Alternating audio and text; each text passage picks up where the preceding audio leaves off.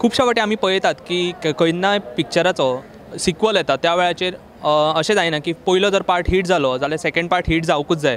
But आमची एक Goan short film आसा जी फाटल्या वर्सा जेचो इफीक स्क्रिनींग जाल्ले तो म्हणजे कुपाचो दर्यो. आनी तेजो ह्या वर्सा सिक्वल येयला. जाणून घेया ह्या फिल्मा बद्दल ह्या फिल्माचे कास्ट आणि क्रू मेंबर्स आमच्या वांगडा आसा ओके सर आप डायरेक्टर है इस फिल्म के. आपको इस फिल्म का सिक्वल करने करने के लिए कैसा लगा? अच्छा लगा क्योंकि पिछली बार जब हम हम इसका जो पहला भाग था, जिसे पाँच दरियो, जिसे हम कहते हैं तो जब हम वो शूट कर रहे थे शूट करते करते हमको लगा कि अगर इस फ़िल्म का एक और भाग बनेगा तो क्या हो सकता है? तो सब टीम में अलग अलग ओपिनियन थे, सबके अलग अलग आइडियाज़ थे कि ऐसा हो सकता है क्या, ये हो सकता है क्या? तो मिलते मिलते फिर हम लोग एक तीन चार ऐसे आइडियाज़ के बाद फिर एक आइडिया को फाइनलाइज़ किया और बोला कि क्यों ना एक एक्सपेरिमेंट किया जाए कि शॉर्ट फ़िल्म में क्योंकि सीक्वल नहीं होते हैं। तो क्यों ना इस पर किया जाए क्योंकि हम सबको लगा कि कहानी और आगे हम इसको दिखा सकते हैं जिसमें और कुछ एलिमेंट्स भी ऐड हो सकते हैं। तो इसलिए इस सीक्वल को लेकर के आए यहाँ पर। पिछले साल जब आपकी शॉर्ट शॉर्ट फ़िल्म आई थी तब उसका फ़िल्म का नाम था कुपांचो दरियो इस बार आपने फ़िल्म का नाम रखा है अर्धो दिस क्यों अर्धो दिस अर्धोदेश इसलिए क्योंकि जो फ़िल्म की कहानी है उसमें यह है कि उसमें जो जो एक मेन कैरेक्टर है वो अपने ऑफ़िस से हाफ़ डे लेकर के आती है जो दूसरा कैरेक्टर है हज, जो हस्बैंड है उसके साथ मिलने और उस हाफ़ डे लीव में जो आधा दिन जो गुजारते हैं पूरे दिन में उस आधे दिन में उनको जीवन का पूरा बहुत सारी नई नई चीज़ें सीखने को मिलती हैं और अपने एक दूसरे के बारे में भी जो बातें वो शायद इतने पिछले पाँच साल के रिलेशनशिप में नहीं कह पाए थे, वो उस आधे दिन में कहते हैं। वो दिन आधा है लेकिन कहानी पूरी उसमें होती है। तो इस तरह से हमने सोचा कि इसको एक इंडिपेंडेंटली नया टाइटल दिया जाए, क्योंकि ये फ़िल्म भले ही सीक्वल है, पर अपने आप में भी एक इंडिपेंडेंट है। मतलब ये कहानी, उसकी कहानी का दूसरा भाग भी है, पर ये अपने आप में भी एक पूरी कहानी है। इस वजह से इसको रखा गया।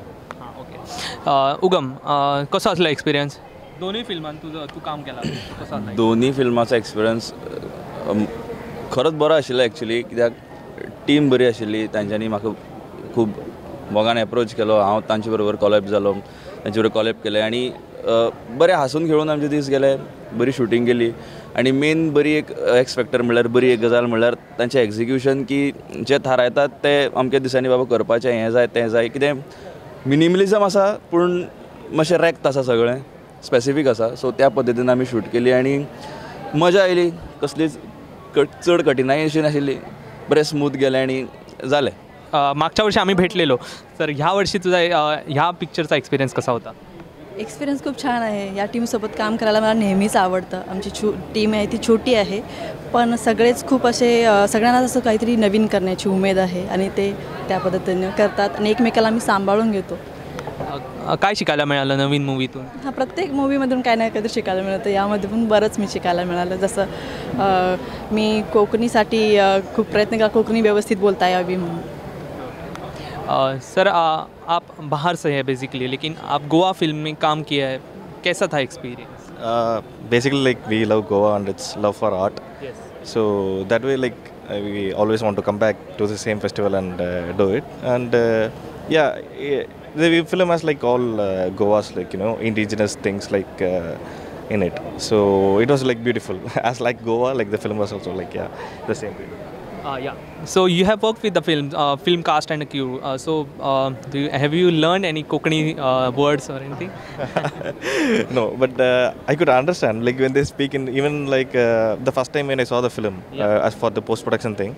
So it was in Konkani only with this without subtitle or something. But I can understand you know the words and the little lingual.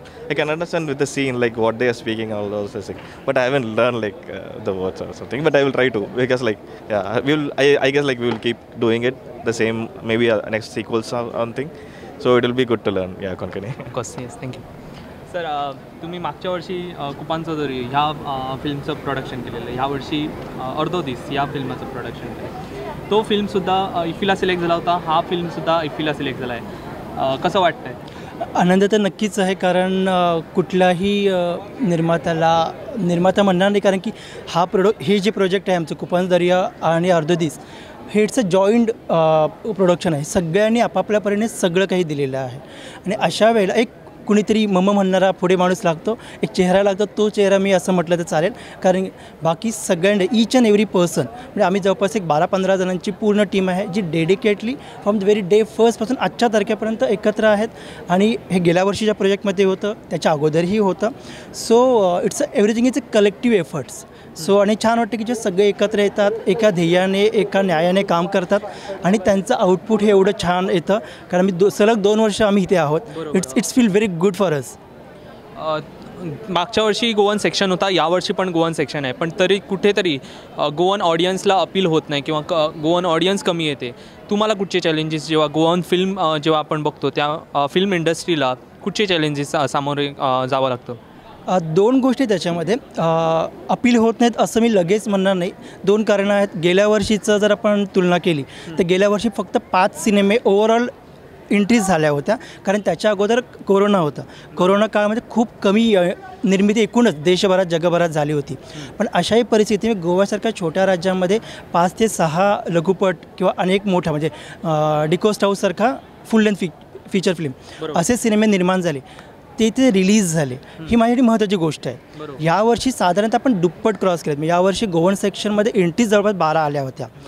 आणि त्यामुळे ॲप्रोच कमी होता तर ऑब्वियसली नाही. आपण दुपटीने काम केलेलं आहे.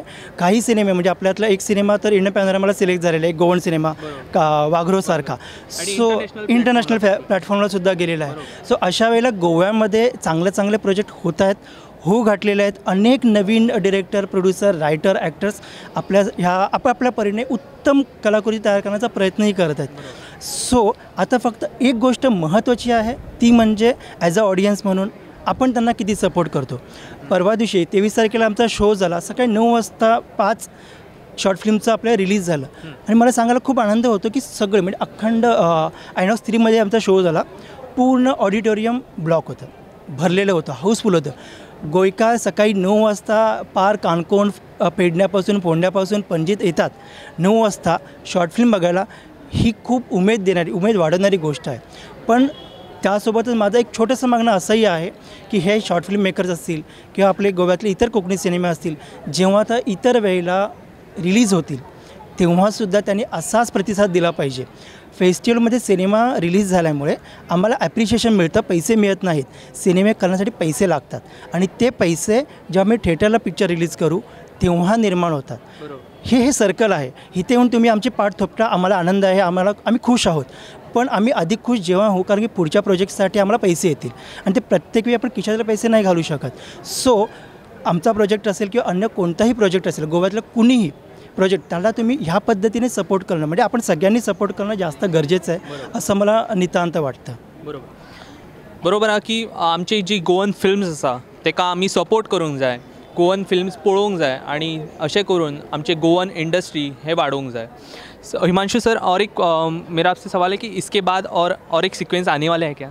नहीं अभी तक ऐसा कोई विचार नहीं है but of course definitely there will be a Konkani feature film which we are planning all of first together with the same cast and same crew and I hope कि आने वाले समय में ये जल्दी फ्लोर पर आएगा और शायद वो जल्दी रिलीज़ भी हो it's a complete feature Konkani film thank you sir and कॉंग्रॅच्यु congratulation to all the टी म्हणजे team members for again getting selected for IFFI thank you